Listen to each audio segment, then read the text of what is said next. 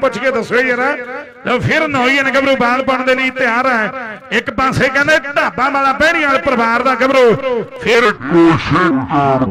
ਹਾਏ ਓ ਰੱਬਾ! ਓ ਕੀ ਤੇ ਕੀ? ਭਾਈ ਉਹਨੂੰ ਸੌ ਲੱਗਣਾ ਤਾਰੀ ਨਾ ਮਾਰੇ ਮੁੰਡੇ ਦੇ ਨਾਂ ਤੇ। 500 ਰੁਪਏ ਕਹਿੰਦੇ ਆ ਕੈਚ ਦਾ ਦਿੱਤਾ ਜਾਣਾ ਮੇਰੇ ਵੀਰੋ। 500 ਰੁਪਇਆ